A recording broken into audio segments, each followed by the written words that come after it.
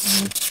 Nakauwi na nga po mga idol ang ating national team na Gilas Pilipinas matapos nga ang kanilang naging kampanya sa Olympic Qualifying Tournament. Sa huling laban kontra Brazil, binatikos ng ilang mga fans etong si Japet Aguilar. Si Japet daw ang dahilan ng pagkatalo ng Gilas. Well, wala namang dapat sisihin mga idol dahil lahat naman ng mga player ay nagsakripisyo para mairepresenta ang ating bansa. Especially etong ang si Japet Aguilar na dinipensa ni Coach Team Cone. Nagretiro na sa Gilas nila si Japet pagkatapos ng Asian Games last year. Nga niya ipaubaya na lang sa mga batang player gaya nila Kai Soto at EJ Edu. Pero dahil sa na-injured si Edu, kinulang sa bigman ng Gilas. Ayon kay Coach Team, kinausap niya daw si Japet na kung pwede, bumalik muna sa Gilas team.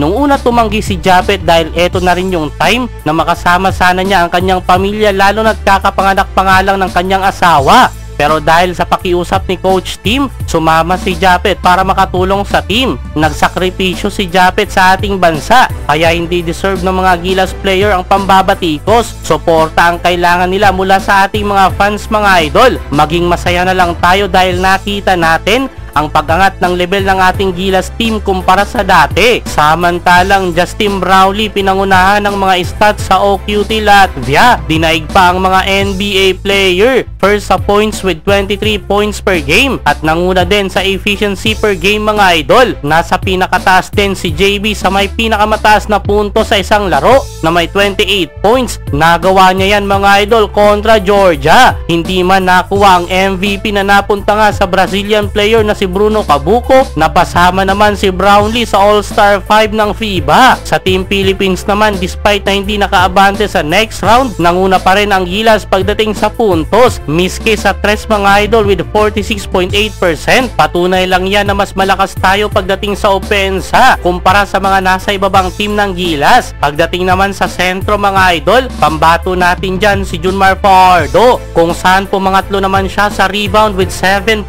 rebounds per game. Nakuha ng Gilas Bigman ang paghanga ng FIBA kung saan inihalin tulad pa siya kay NBA legend Dirk Nowitzki. Dahil nga yan sa mga pinakitang mid-range shooting ni Abay, ginawan pa nga ng video comparison na may caption na Jumar Fajardo has a soft touch like Dirk. Hindi ito sa pang-hype mga idol dahil mismong FIBA na ang naka-appreciate sa husay ng mga Pinoy. Nag-average si Junmar sa OQT ng 9 points, 7.3 rebounds at 1.3 assists per game. Now gets going on Felicio.